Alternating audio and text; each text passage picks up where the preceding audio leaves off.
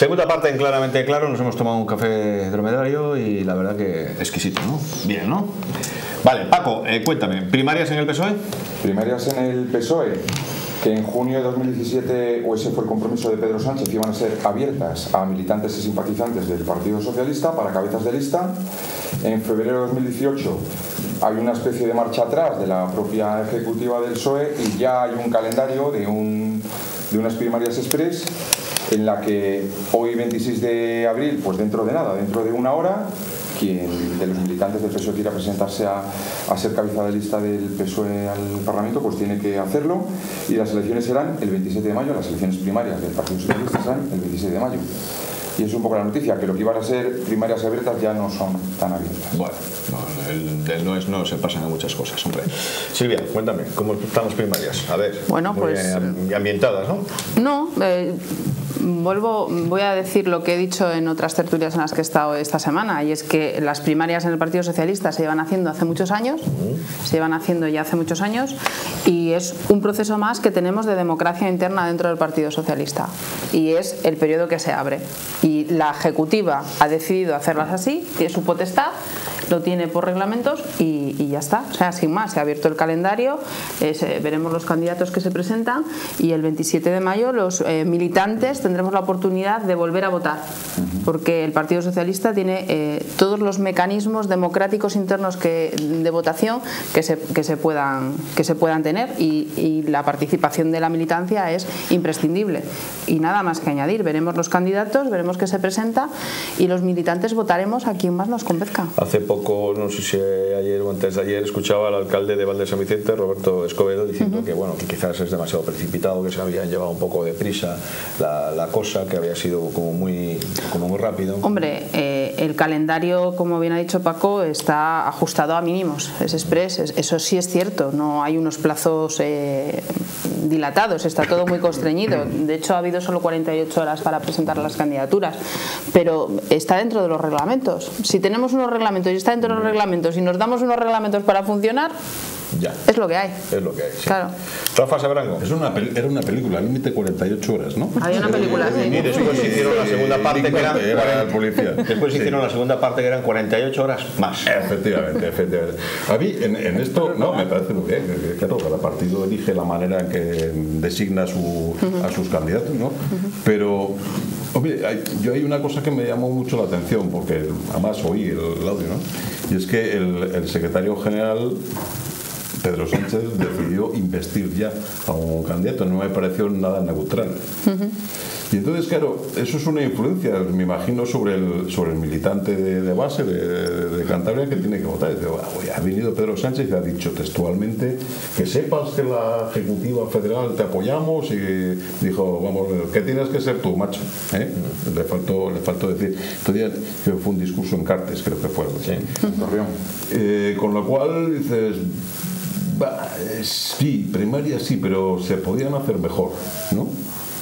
Una, debía haber una neutralidad exquisita por parte de los por parte de los órganos de dirección, sobre todo los, los nacionales, que yo supongo que son los que convocan esto, ¿no? No, se convoca, no, convoca regional, directamente sí. a nivel regional. Vale. La, la, pero, la, la, competencia regional. Pero no debe, debe estar callado cualquier persona de la Ejecutiva Federal. Tiene que estar, bueno, absolutamente neutral. Eso me parece muy mal por parte de, Pedro Sánchez, la verdad. Me parece que además es enturbiar, el, enturbiar la, las elecciones. Y claro, yo me imagino que si alguien está dudando en presentarse o no presentarse, dice, ¿qué vamos a hacer? Si mira lo que ha dicho Pedro Sánchez, es que como, como nos presentemos y salgamos, es que hemos hecho la gran faena a Pedro Sánchez. Entonces, ¿qué va a pasar aquí? Entonces, yo, a mí esas cosas de verdad no me gustan. No me gustan y pienso que... Mmm, des, ahora que tenemos café cerca, descafeina mucho, descafeina mucho la, la, democracia dentro de un partido. Yo no lo creo, porque eh, si de algo se caracteriza el Partido Socialista es que cuando sus líderes se han decantado por un candidato, ese candidato ha perdido. O sea, que la militancia piensa, Rafa. Oh, pues va a perder entonces. Eh, no, no, no, yo no digo, no, no, yo te digo. Me, hay una, ¿sabes? Ya, o sea, pero decir, sí, los, militantes, los militantes del Partido Socialista eh, pensamos por nosotros mismos mismos. Y bueno, yo no sé, yo la, mira, te voy a decir Pues la una, te voy a- matas tú, lo la ha crucificado. te voy a decir una cosa. Yo la Sí. primera vez que participé en unas primarias en el Partido Socialista eh, estaba Almunia Burrell. O sea, mira de lo que estoy hablando. Sí. 2000. ¿Y a quién apoyó Felipe González? Almunia. ¿Y quién ganó? Borrell. Fue un sorpresón. Eh, Cuando, cuando eh, Felipe González apoyó a Bono, ¿quién salió? Zapatero. O sea que los militantes socialistas somos eh, Oye, críticos pues, de naturaleza. Lo o siento sea, mucho por tu lado. no, no, oye, que te digo, no, que te lo digo Rafa, porque como has dicho que, condiciona a los militantes, Pero, hombre, que, joder. claro, pero como has dicho que condiciona a los militantes que el secretario general diga una cosa, te diré que no, que la historia del Partido Socialista dice todo lo contrario, porque los, los militantes del Partido Socialista somos muy de pensar por nuestra cuenta. Bueno, oye, que tengas otro. A mí me cae bien todo el mundo que se presente a las primarias de cualquier partido. ¿eh? Sí, sí, sí. No, no, que vamos, que te lo Era- digo por, era broma, te lo digo era por eso, por la, por la afirmación que has hecho, ¿no? Pero bueno, vale, vale, que- vale. Isabel, el vosotros, dato histórico lo, des- bien desmiente tu afirmación. Sí, sí, sí, sí, perfecto, perfecto. Isabel, vosotros de congresos os entendéis un, un rato, ¿no? Pues sí, un rato Sí, largo, sí. eh, un año ya. de aquel. Bueno, nosotros hemos tenido una experiencia de primarias hace un año ya. Es verdad que nosotros teníamos otro sistema hasta el año 2012, ay, 2012, perdón, 2017, que en febrero del 2017 fue cuando se aprueban pues, una especie de, de primarias también. Eh, es verdad que nuestro partido en el momento que decide, digo el partido regional, también nosotros aquí defendimos, ne- no, o sea, decidimos entre todo. Que no, que estamos hablando de las primarias del PSOE. No, no, pero vamos a hablar con los del PP también, sí. No, Ahora vamos. Yo- o sea, yo hay para solo- todo el mundo. Aquí para todo el No te mundo. preocupes que yo, no, yo solo No hablar de las primarias. Que te ha llevado a su terreno. No, solo no hablar, no, pero es verdad que nosotros también tuvimos la oportunidad de decidir en aquella junta directiva del 14 de febrero qué tipo de primarias queríamos, si un militante y un voto o, o- o una doble vuelta con tal. Se decidió, bueno, el presidente cuando aquello decidió que la doble vuelta y bueno, pues eh, llegamos a un congreso en el que mm, eh, ganó la actual presidenta por uno, una, vamos, por cuatro votos de diferencia en una doble vuelta, en la segunda vuelta. Y, y eso es. A mí la verdad que no me, no me gusta mm, hablar de, de lo que pasa en el resto de partidos. Y además es que me cabrea bastante que el resto de partidos hablen de lo que pasa internamente. Nos ha pasado el, lunes en el pleno. Yo tampoco y ha hablo habido un del resto de momento que partidos. me he sentido súper incómoda porque a mí eso de que el resto de portavoces salgan y para defender tu postura política tengas que arremeter a- en los problemas internos dentro del partido me parece mediocre, de verdad, es que me parece algo totalmente mediocre. Yo no suelo hablar, eh, bueno, dice Rafa, pues bueno, lo de Pedro Sánchez es una anécdota, te la ha contestado, te la ha contestado perfectamente y te la ha contestado perfectamente y yo creo que bueno, fíjate, a mí me duele más aquellos partidos que exigen a los demás que tengamos primarias, que nos lo quieren imponer por ley, que les hay, ¿eh? y que luego hacen el dedazo. Digo, es alucinante. O sea, fíjate tú el lío que han montado a cuenta de que No los demás... hablando de ciudadanos. No, yo no estoy hablando de nadie. Ah, yo no he dicho nada. ¿eh? Fíjate ¿Qué tú el lío que hemos montado en el PP de Cantabria para tener primarias, ¿vale? Por, y resulta que el que te ha dicho que es que todos los... que no lo haces por eso, no lo haces porque crees que tiene que ser así, pero el que quiere obligar por ley a todos los partidos políticos en este país a que tengan primarias internas, que eso es cierto, y está encima de la mesa y lo conocemos todos, coge él y va a verlo. Digo, ¿pero esto qué es? Es alucinante. Bueno, es otro comentario más. Yo no me meto con nadie, Ya. pero dejo en el aire Yo una te- pregunta que digo, Te, la no voy a contestar. ¿eh? Te la voy a contestar. Yo. No te des por aludido. No, yo Ah, no. Yo sí vale. soy, yo soy militante de algún partido de su base. De su base, que estoy muy contento además con ser militante de su base. Porque no soy voz autorizada ni portavoz de, de. Pero como aclaración, en el, caso de este de, que conozco de Ciudadanos, porque me he leído cómo funciona, es que solo se pueden convocar primarias a partir de la existencia de un número mínimo de afiliados que ya eh, creo que para el caso de Cantabria son, está marcado en 400, con lo cual para el año que viene ya obligatoriamente sí que va a haber primarias. eh, mientras que hasta ahora pues no era no era estatutario el Mm. celebrar primarias. A partir de ahora ya sí es obligatorio. Bueno, No ponía claro, yo- no ponía yo el ejemplo de Cantabria, es pues un partido que- es un en partido general. que- General. sí, es un Es que- partido que empieza, se empieza a desarrollar, entonces ya cuando No, tiene un una masa partido crítica que- suficiente, que en el partido caso de Cantabria curioso se fija que empieza exigiendo a los demás lo que él no hace para sí mismo. Es un partido No, curioso. hombre, no, Quiero decir, pero no porque- te estoy poniendo el ejemplo de Cantabria, ¿eh? que no me voy a eso porque además si ponemos el ejemplo de Cantabria podemos derivar a cosas que no me gustan mucho, ¿eh? como es el- la ruptura interna que tuvo, que a mí no me gusta hablar de esas cosas, de verdad. Entonces, si hablamos del tema de Cantabria, ya tenemos que explicar por qué Sí, y si pues y como no quiero. si nos ponemos a hablar de ¿eh? rupturas, no, pues eso. en- Pues por eso mismo juego- que no, juego de familia, que no quiero. Y, pero sí que es verdad que yo no estaba hablando de Cantabria, sino que estaba hablando en plan general. En el- quiero decir, la ley no está presentada en Cantabria, está presentada en Madrid. sí. ¿eh? Y es una exigencia a nivel nacional que todos los partidos políticos eh, tengan primarias. O como el hecho de que hay, bueno, aquí mismo en Cantabria hay ahora mismo una ley, que una proposición de ley presentada, está en el registro ahí, pero en cualquier momento Ciudadanos hará y la llevará. Y yo, y bueno, haré lo que me mande mi partido. Pero si me pide mi partido opinión, diré que no. Porque ¿por qué tiene que venir Ciudadanos a decirme a mí cómo tengo que organizar yo mi partido por dentro? Mi partido, quiero decir, el Partido Popular en este caso lo organizaré como nosotros queramos y haremos eh, Bueno. las incompatibilidades. No, no, siempre que respetemos la- los No, pero las fíjate, hechos democráticos, pero eh, cosa. los principios democráticos y con sus estatutos, sí. pero ¿por qué tiene que venir a decirme a mis ciudadanos No. que un concejal No, puede ser diputado? o que un presidente de una junta vecinal no puede ser concejal. ¿Dónde hemos llegado? Pero fíjate cuando también otros vinieron y, y dijeron, no, y tenéis que hacer la lista así, una lista orgánica. Pues yo Eh, también. eh, Tantas mujeres, tantos eso es, hombres, La tantos cremallera. Bueno, pues, pues mira, es que- que no estaba de acuerdo con las cuotas. Ahí te lo puedo rebatir también, Rafael. era un ejemplo. Sobre Vale. los partidos políticos, claro, claro que se legisla incluso sobre sus límites de Sí, pero, financiación, etcétera, eh, etcétera. pero es que con Es todo eso estoy yo de acuerdo. Es normal con todo eso se- yo estoy de acuerdo, pero ahora entrar a decir eh, cómo tienes que poner los cargos tú dentro del Sí que partido puede- y sí si que se puede tienes que tener eso. cuatro años un presidente masculino y cuatro años un pues deja elegir a los eh, Sí, no, pero eso estoy, yo estoy deja.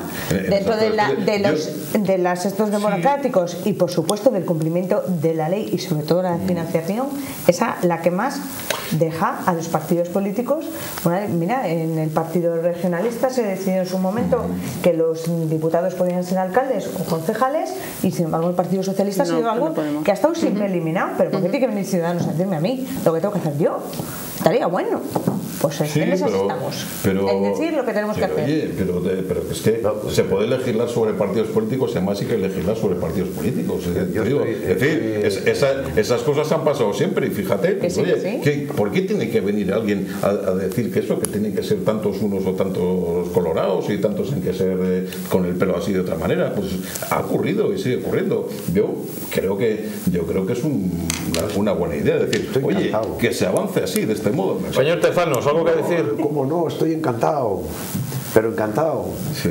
Lo primero porque hacía tres años que no estaba tan cerca de María Isabel y la noto más María reflexiva. Isabel. ¿No me notas? Más, más reflexiva. Reflexiva. Es que estoy mayor cambiada. Ha habido un, ha habido No un es congreso muy aquella que yo conocí en otro tiempo, eh, que dice, lo digo mucho que dice ahora, dice ahora, ¿por qué Ciudadanos va a venir a deciros y tal? Porque cuando estabais vosotros no callabais, os metíais en casa ajena siempre que podíais y teníais ocasión toda la vida. No. Toda la vida había pasado No me lo eso. habéis visto a mí nunca No, no te digo a ti, digo el Partido Popular. Ah, yo no- Vamos. Otros no lo O, sé. o va a ser Yo un digo, invento de mm, última el hora el Partido que los hoy. partidos opinen de los otros. Ha existido siempre. Ad- además y es una- más, además- espera que termino, y es más. En el Parlamento no, no. Tenían cierta, cierta capacidad agresiva los populares para hacer eso, ¿eh? La han tenido toda la vida, ¿eh? Para meterse Yo no lo recuerdo y mira que llevo tiempo, ¿eh? Yo sí, quien te ha visto y quien te vio. No. Eh, ya veo que te has vuelto más reflexiva, más mayor. más mayor. Tenés- Hoy, hablábamos, hablábamos de Sánchez, hablábamos de Sánchez, que hablábamos de Sánchez María Isabel, ¿Pero por qué te voy a llamar? Te voy a llamar yo, yo y Rafael Fernando hoy. no me ¿Te importa. llamo Rafael Fernando? No me llames. Muy largo, No me llames muy largo. Isabel. ¿Cómo Ya quieres sé- que te llames si No, siempre te llamaba Urrutia y hoy no me pega llamarte Urrutia? Pues llámame el Urrutia Urrutia, no sé, pero María Isabel me llama mi madre y mi padre, María Isabel, no me llaman más. Caramba. Sí, mi madre y mi padre, y igual ni nos pueden ver, porque todavía por la costa Bueno, y tal. pues vale, llegamos ahora, a la pues costa tal. Más o menos, Como en Más o menos, bueno, igual sí, nosotros estamos Pero en es una que atalaya. era, era el- el- un nombre de esos que queda, ¿no? María Isabel Urrutia de los mozos. Es- Son de los que, que te quedan para toda la vida, ¿no? Lo oigas donde lo oigas, se te queda. Entonces, pues ¿cómo quieres que te llame? Bueno, pero bueno, vale. Hablábamos de Sánchez y digo yo, y digo yo, pero si es que Sánchez, eh, no sé si le habrá hecho un favor a Zuloaga o no, le habrá hundido o no. Sí, bueno, No lo sé, pero para que le haga un favor a Oleunda tiene que haber un segundo candidato. ya, bueno. Porque sí, si solo hay uno, Paco, hasta las si solo hay uno, Sí. Pues tiempo. sí, sí, vamos a agotar el tiempo, pero en los mentideros se dice que a lo mejor solo hay uno.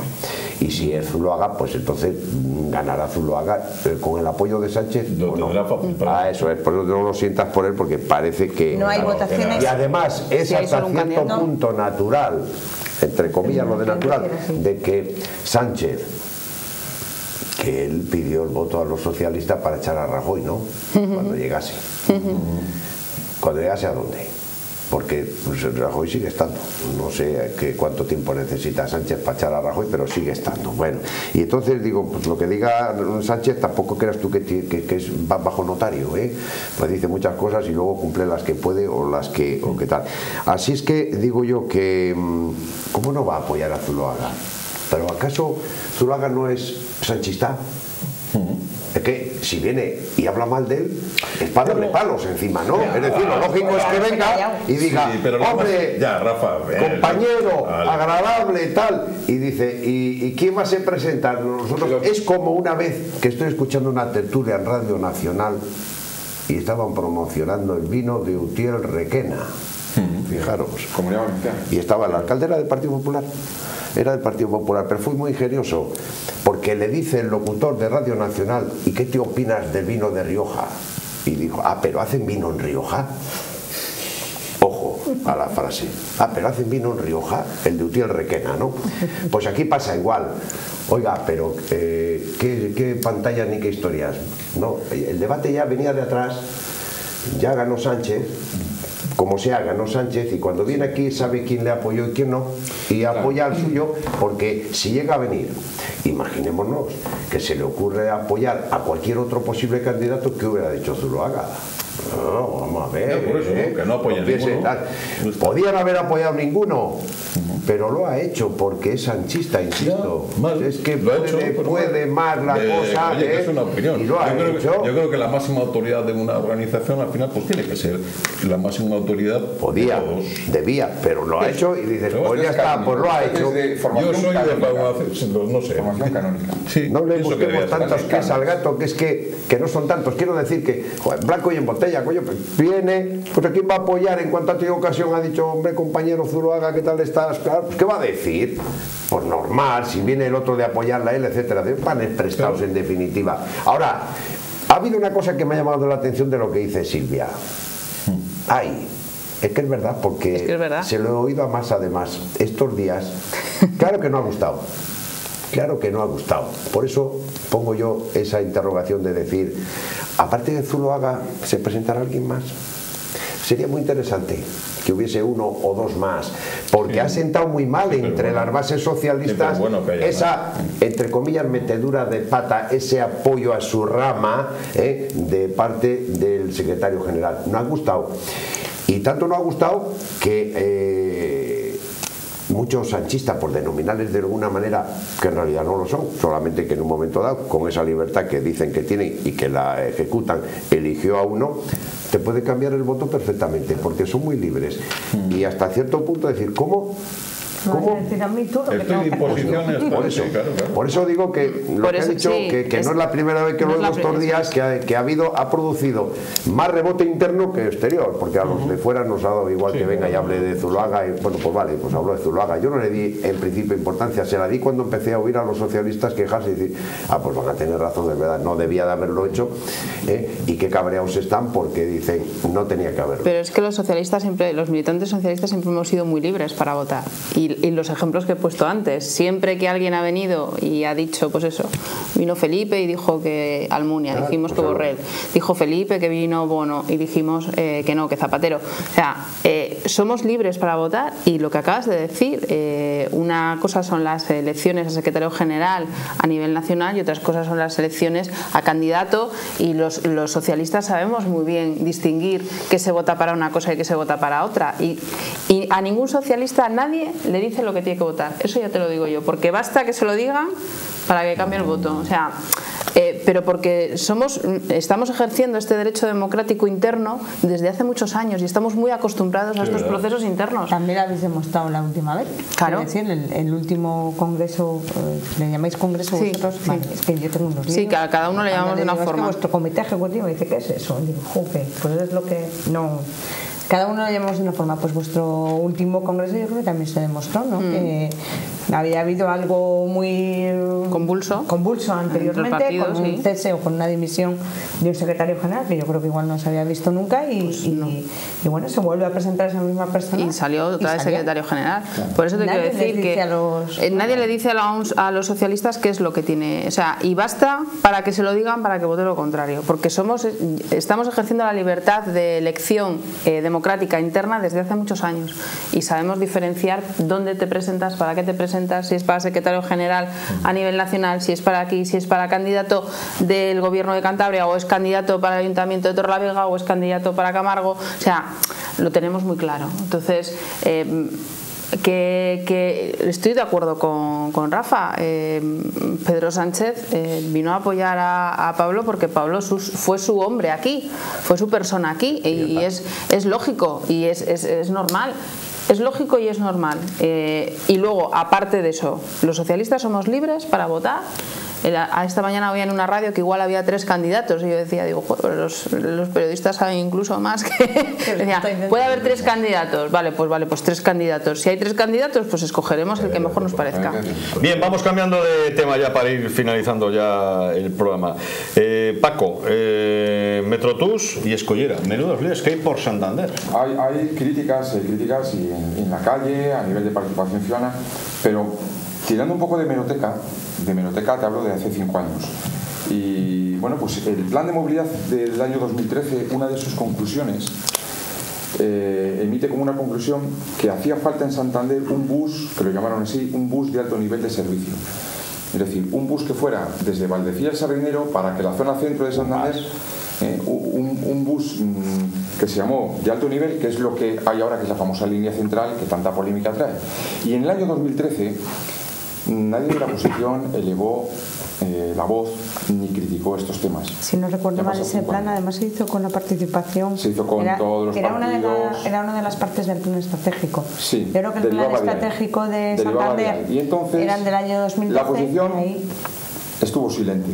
Ahora la calle, la calle es la que protesta y quizás una de las cosas que más llama la atención es que las movilizaciones de Santander, por ejemplo, con el Metro Tour lo llevan los ciudadanos a nivel particular, a nivel asociativo, pero los partidos de la oposición quizás estén un poco, como yo lo veo, un poco sin decir mucho, criticando lógicamente, sumándose a las reivindicaciones, pero andan detrás y quizás uno de los motivos sea que ellos este tiempo han estado, bueno, pues mientras estaba haciendo el proyecto Metro Tours tampoco dijeron mucho. Cuando han visto que la gente ha protestado es cuando se ha salido. El tema de la escollera, lo mismo. En el año 2016, en abril de 2016, el Consejo de Gobierno decide interponer una demanda judicial ante la Audiencia Nacional con el tema de la famosa escollera de la playa de la Magdalena. Y en abril de 2017, es decir, hace un año, retira la demanda. Inopinadamente la retira. Parece ser que no hay para tanto, que las alegaciones han subsanado y no hay ningún problema. Y cuando vuelven a surgir movimientos ciudadanos que critican la situación de la escollera, que el impacto paisajístico, el impacto ambiental, etcétera, etcétera, es cuando el gobierno de Cantabria dice, pues vamos a intentar estudiar otra vez, interponer la demanda. Y yo creo que estas cuestiones, fuera parte del oportunismo político o del rédito electoral que den un asunto y otro, es importante que el gobierno gestione bien y que la oposición fiscalice bien. No fiscalice cuando convenga, sino cuando realmente esté bien o mal, cada uno a su juicio. Quieres decir que los tiempos los, está marcando la gente, La gente. los vecinos. Y los partidos políticos de la oposición la están mirando a ver por dónde anda el aire. Ni la oposición ni el gobierno en estos dos temas han estado a la altura, porque eso se tenía que haber detectado, se tenía que haber puesto encima de la mesa en la agenda política, se tenía que haber reivindicado mucho más, y no reivindicado cuando parece que hay un poco de, de magma, sino porque tú crees que eso está bien o mal. Ese es un poco el planteamiento de partida en torno al problema que hay en Santander de estos dos temas, que habría más, ¿eh? habría más que hablar. Bien. Señor Tezanos, ¿alguna cosa que decir? Sí, pues eh, añadiría para incrementar los problemas la turborrotonda de la marca. Eso es naciente, están haciendo. están dando unos problemas terribles. Pero vamos al, al tema de... En cuanto pases por ahí 10 10 o 12 veces lo aprendes. ¿eh? Sí, sí, no, no, no, si los del pueblo sabemos cómo funcionan. Sí, sí. Son los de la capital los que hacen los atascos. Sí. Nosotros no. Cosas como son, ¿eh? No empecemos a atacar, que ya sabes que tengo munición. Los de los pueblos No, estamos los de los acostumbrados pueblos, por camberas. eh, entramos y salimos son, a diario. ¿A quién hace atascos? Los Sí. de Santander, Sí, sí. no los de los pueblos. O sea que se ve que son ellos los que hay que darles el cursillo. No, no es tan fácil. Era una broma. Hay problemas con esa turborrotonda, pues porque los desahogos parece que no están funcionando, etcétera, etcétera. ¿no? Acabarán, no sé, buscando otra alternativa. En el tema del TUS es verdad que, de- que se viene hablando mucho, que ha habido muchas quejas, ya no tanto por la conformación, sino por el- los horarios incluso, Todo, todo, todo. el servicio y tal. Y supongo, y supongo que eso parte de un estudio que intenta, como muchas veces pasa, mejorar algo y lo que hace es estropearlo. Porque hay cosas que si funcionan mejor no tocarlas. Por eso la gente lo que no entiende. Vale, pudiera ocurrir. Pero en el tema de la escollera. El tema de la escollera da la casualidad que hace unos días, y es que estaba en otra tertulia y lo comenté y lo voy a comentar aquí también, pues el día, un día de estos que estaba en plena ebullición el problema, pues yo estaba tomando un café con un señor que, que bueno, mm, ha estado mucho tiempo y, y sigue estando, a temporadas en Holanda. Como comprenderéis, en Holanda hay más escolleras que holandeses. ¿eh? Hay escolleras por todos los sitios. Y entendía la problemática y me decía, ya, ya entiendo el impacto, que no están acostumbrada la gente todavía al tema de las escolleras, etcétera y tal. Y tal vez, tal vez, me decía, se podía haber hecho una obra de arte.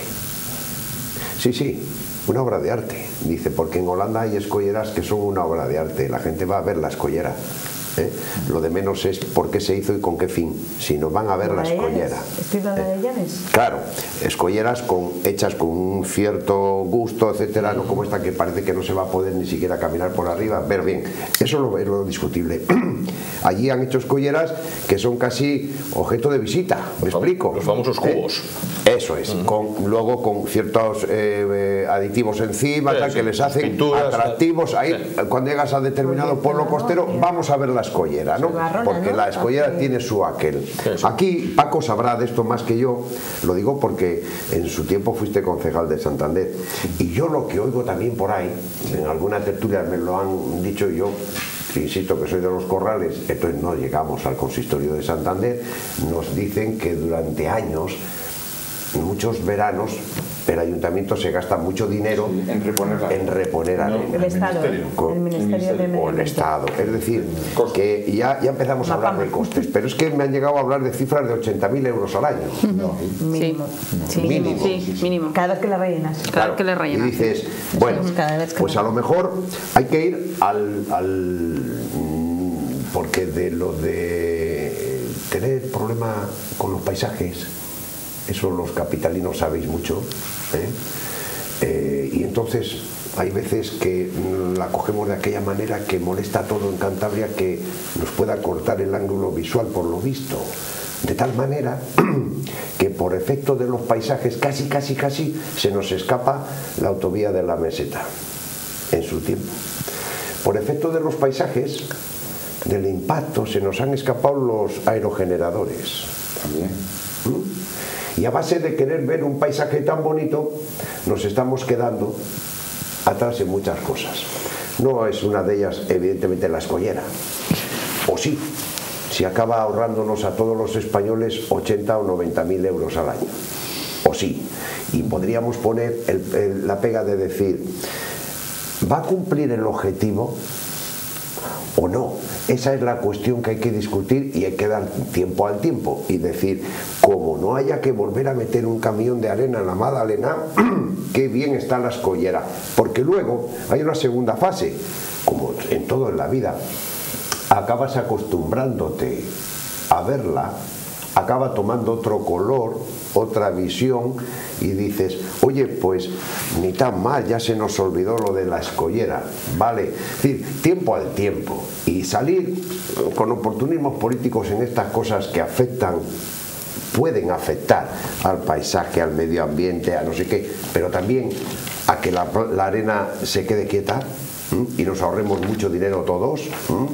Vamos a darnos un margen de tiempo, digo yo, que no es tan grave, porque ese tiempo que pido no cuesta dinero. Y decir, vamos a ver si cumple el objetivo. Y sí, vale, pues podemos criticar que podía haber sido más bonita, pero el fin último es decir, va a amarrar la arena porque si además del desastre que dicen, que dicen, es visual, si además de que no es bonita, luego no para la arena allí, pues va a ser muy gorda. A alguien hay que cortarle las uñas. Claro, claro, las cosas son así, porque si el Estado se va a volver a gastar 80.000 euros al año para meter arena, después de hacer las colleras, después de destrozar aquello, entre comillas, destrozar, alguien se tiene que cortar las uñas, o no. Pero todo esto yo opino, ¿eh? Y digo, oye, Lo veremos, lo veremos. tiempo al tiempo, veremos, vamos a esperar que venga algún temporal, que venga tal, a ver cómo reacciona con, ya con la escollera. Y la escollera, pues bueno, que vaya a ir acogiendo otro color y otras formas, aunque por lo visto hay gente que sabe de escolleras y que me dice que podía haber sido más bonita. También. Podía haber sido más bonita. Bueno, pues fíjate, yo, me voy, yo voy a estar de acuerdo con los dos, con lo que habéis dicho los dos, porque además... mm, Milagro, Isa. jo, ¿Te acuerdas? ¿Te imaginas Ahora me he acordado. tiempo Ahora me he acordado que también te llamaba Isa. haber estado tú y yo tanto tiempo de acuerdo en ese parlamento y no habernos. Bueno, son otros tiempos. Eh, tanto la escollera como el, como el TUS, ¿m? el llamado TUS, la línea central, yo a Íñigo de la Serna se lo he oído, pues yo creo que desde que fue concejal de Medio Ambiente. De. Fíjate, desde que fue concejal de Medio Ambiente, porque él entra, si no recuerdo mal, en el año 2003 como concejal del Medio Ambiente en el Ayuntamiento de Santander, está esos cuatro años y no es alcalde hasta el 2007. Él lleva esa concejalía y habla de ello. Bueno, es tanto y tan claro que es cuando él es concejal de Medio Ambiente que en el año 2006 después de muchos 80.000 euros, muchas veces al año, pues no es una vez. Creo que este año no ha habido vaciado de, de arena. Este año, Este año los no. temporales, no- curiosamente, no nos han llevado la arena. ¿eh? Eh, no tiene que ver nada la, Sí, la claro. escollera, pero la han dejado. Eh, es con- depende cómo vengan las mar, que como Las corrientes, las esas cosas, Sí. como vosotros comprenderéis, yo no entiendo, pero bueno, los que saben, saben. Y de hecho, en el año 2006 es el concejal de Medio Ambiente del Ayuntamiento de Santander, Íñigo de la Serna, eh, el que se va junto con Agustín Ibáñez, que cuando aquello es delegado del gobierno, porque en el gobierno de España está Rodríguez Zapatero como presidente de España, el que se va a ver a- al, al ministerio para buscar una solución entre todos de qué se puede hacer. Y en el año 2006 empiezan todas las propuestas y empiezan los técnicos que son los que saben y los que han determinado que son los que hay que cortar las manos y la escollera no nos hace la función que nos tiene que hacer. Las los que uñas, determinan las las uñas, las, ay, las uñas, ¿me has Déjalo, dicho? las uñas. Las uñas. Las Las que, los, que, los que empezaron a decir qué soluciones, ¿m? Ah, deme usted soluciones técnicas a un problema de todos los inviernos, un vaciado de arena, que es lo que pone el ministerio, pero también se llevaba el par- los parques infantiles que había, la senda esta de madera que ponía el ayuntamiento, el carril bici, las instalaciones de accesibilidad de las personas con discapacidad, se lo lleva todo por delante ¿eh? y era gasto para los 80.000 euros de la arena, pero también el gasto que le suponía al ayuntamiento volver a reponer todo el mobiliario. Y después de la friolera de 10 años estudiando un expediente, decías tú la autovía de la meseta, fíjate las escolleras, 10 años. 10 años estudiando las fórmulas, buscando cuál es la mejor, eh, poniendo encima de la mesa todos los, los informes. Hasta el gobierno de Cantabria, en, el en un momento dado, cuando llega en el año 2015, dice que, sobre- que él entiende que falta un informe eh, que no está. Luego le hace, estaba el informe, lo lleva a los juzgados y al final determina que no había nada en el fondo porque retira esa demanda. Y cuando estamos todos de acuerdo, yo creo que hemos debatido varias veces este tema en el Parlamento y es como todo, pues cuando se empieza a construir que yo también me acuerdo cuando se empezó a hacer la autovía de la meseta y te ibas a Barcelona Mayor y veías aquellos cacho puentes desde Barcelona Mayor, No. desde Barcelona de Piedeconcha, perdón. eso. Uy, Barcelona Mayor, ¿cómo estoy? Eh, ibas a Barcelona de Casi se ven, ¿eh? Casi y, se sí, que- y veías aquellos puentes que estaban haciendo o los viaductos, Sí. decías, Dios mío, ¿qué están haciendo? ¿Qué impacto? Y esto es como todo. En el momento que hemos visto construir la escollera, pues yo que es a la playa, la que siempre he llevado a mi hijo, pues yo la escollera de, de verdad que le veo cuando paso por Reina Victoria. Oye, ¿y no hay una escollera la- similar en San Vicente de la Barquera? Pero es que no, quería decirte que, que esta escollera ya existió en el siglo XIX y en el siglo XX y resulta que ahora han buscado la técnica de los años aquellos en los que no, de- resulta que en aquellos siglos no tenía, claro, a mí el otro día un compañero de- del Parlamento, del Partido Regionalista, me miraba y me decía, ¿a ti te gusta? Digo, pues es que no es a mí, o sea, ¿qué pasa? ¿Que, si a mí no me gusta no se hace, no es a mí a la que no me tiene que gustar o no, es que sí es verdad que cuando se hacen determinadas obras, sea la que sea, produces pues un impacto. A mí me, a mí me, a mí me parece peor el daño medioambiental y las corrientes que se pueda que yo entiendo que no habrá porque los técnicos han dicho que no ¿eh? y a las corrientes marinas y a todo eso ¿eh? que el impacto visual a mí me, me preocupa más el otro que los técnicos han dicho que no lean Lo que sí es cierto es que había tres proyectos y se ha cogido el, el- el peor. O sea, había tres proyectos propuestos por peor. los técnicos, se ha escogido el peor, el de más impacto visual, eso sí, el más barato, pero el peor. Entonces yo creo, claro, ya tienes la explicación. Ya está. Claro. Ya lo entiende la gente. Pero bueno, con lo que cuesta eh, a 80.000 euros el año de, de llenado de arena, hay para 31 años, ¿eh? Hay, hay datos que no. Esa es la cuenta. Es que esa es la cuestión. Claro. Yo creo que, bueno, 80.000, 80.000, puede que haya, haya sido un año, pero en medios de comunicación yo he visto otros años que eran veintitantos mil, treinta mil. Bueno, da eh, igual. la media oscila entre pongamos 40 y que sean- 80. pongamos que sean 100.000. 80.000. Sí, vale, pero, joder, claro, es que te gastas dos millones y medio en. en Tienes en para el hacerlo, ¿no? 31 años. Claro. Entonces yo, esta mañana, no, ayer, he leído cómo se. Noticia, ya se ha hecho el relleno de la playa de, de arena, no sé, era en el Levante. Eh, hay otra también por ahí, por la zona de Cádiz, que también se ha hecho y tal. Entonces yo, joder, y estos no se tienen que cargar con la muralla, porque es una muralla. Yo, yo he estado ahí a pie de. he pisado la, la playa, te digo, y he visto en la, en la pared la cota 6 metros que todavía no han acabado de poner piedras, ¿eh? Ya se ve que. Y no han acabado de poner piedras. Y digo, esto objetivamente es una burrada. Esto es una, esto es una burrada. Lo mire, lo mire por donde lo mire. Es que, es que esto no hay por- Esto es pero va. ¿La arena se va a mantener? Pues a lo mejor sí. Pero eso es como si alguien dice de repente, no, es que se está mojando la fachada de la catedral. ¿Me lo puedo solucionar? Sí. Y le hago un cubo en la catedral, de fin, un muro pantalla, no sé qué tal, y digo, ya no se moja la catedral. Y dice, oiga, porque es que la catedral no se ve.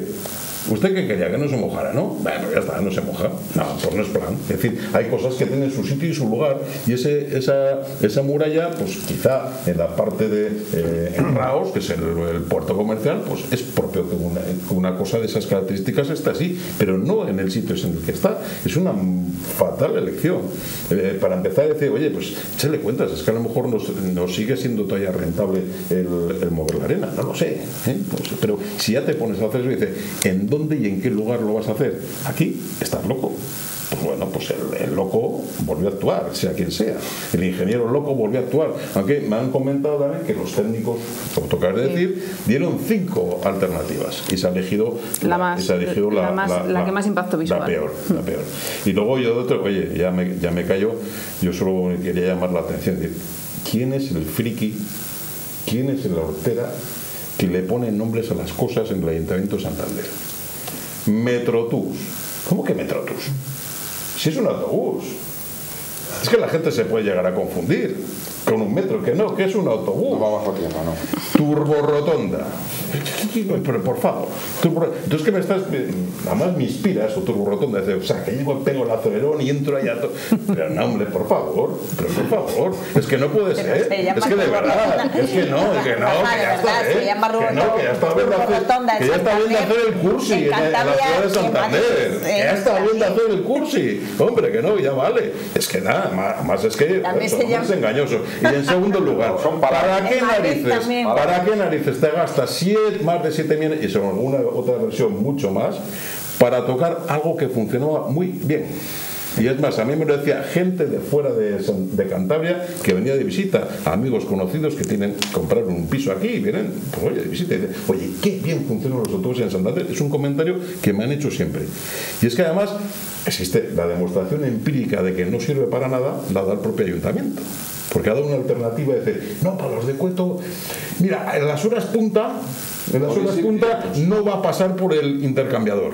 Va a ir desde, claro, porque el intercambiador no sirve para nada, solo para fastidiarla. Es que además, con cualquiera que hables, te dice, mira, un intercambiador, pongamos el ejemplo, es decir, si me monto en el autobús municipal de Móstoles y quiero ir a Madrid, pues al final llegará un intercambiador en el cual bajaré del de Móstoles y montaré en un autobús municipal de, San- de Madrid. O me bajaré de un tren o me bajaré de un metro porque me voy a montar en un autobús. Es que, de verdad, de verdad, esto han cogido algo eh, pensado para Madrid, Barcelona, una gran área metropolitana, hecho ¡guau! a escala. ¡buah! Y lo, y lo calcamos en Santander. De verdad. Pero es ese que- estudio lo ha hecho en la universidad y el proyecto es ¿Y la qué que universidad. haya hecho en la universidad? Ah, no, te digo. ¿Y No, qué es que que- como pero dices, vamos a ver, hacen en una escala pero así y vamos a ver, ponen es que así, vamos a ver, no la- creo la- yo que la, la- universidad hagan esas cosas. Pues, pues escúchame, ¿a quién se le ocurre meter unos intercambiadores en, en una ciudad tan pequeña como Santander? Es que es absurdo, de verdad que Pero pues, si lo dice el ayuntamiento, en las horas puntas me cargo los intercambiadores. Vas a ir directo como fuiste siempre. Es que es, es que es tonto, la, historia es muy tonta. Y la el CEO de la universidad precisamente en los últimos tiempos se demuestra que fin, no es garantía, no es garantía de, de- perfección el que tenga lesiones. ¿eh? Yo, además, yo, yo no entiendo por qué, habiendo ingenierías prácticas que están todo el día haciendo cosas, siempre hay esa competencia desleal por parte de la universidad. Pero es que en Cantabria estamos acostumbrados a eso. No, lo ha hecho la universidad. A mí me recuerda las historias aquellas de Gila. Dice, está dice, ha sido Jack el despi- destripador ha muerto ahí, dice, ha sido Jack el destripador. ¿Por qué? Porque le digo yo que soy Sherlock Holmes.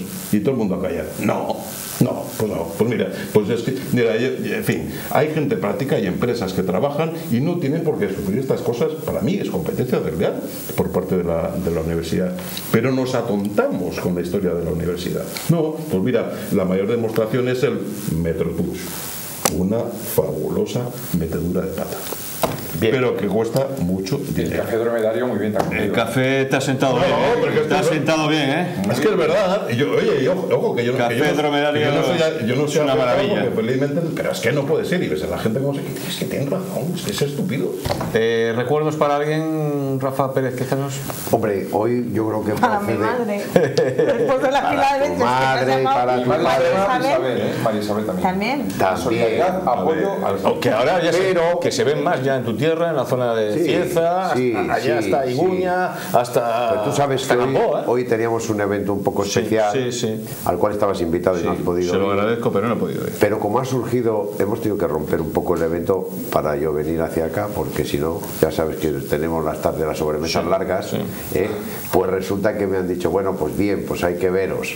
Así que qué menos que mandarle un saludo a Vicente, a Manuel, a Salvador, a José Antonio. Saludos a todos, ¿eh? Os queremos. A todos los que Os queremos. allí, que nos hemos, hemos tenido una comida muy agradable. Esos son los amigos que les obligas a vernos, ¿no? No, no. Para aumentar la audiencia. No, no, yo he dicho hoy eh, tengo televisión y han dicho pues luego te vemos. Muy bien. ¿Alguna cosa más, Paco? Nada más. Rafa, Nada, que Paco tenía toda la razón, la posición además no se entera, lo has dicho muy bien. Silvia, Muchas gracias. Isabel Gracias. y Rafa otra vez. Muchísimas gracias. María Isabel. María Isabel. ¿Tú sabías que era Rafael Fernando? No, no lo sabía. Rafael Pues ahora ya Fernando. lo sabes. Pues te acaba de caer ya. Fíjate.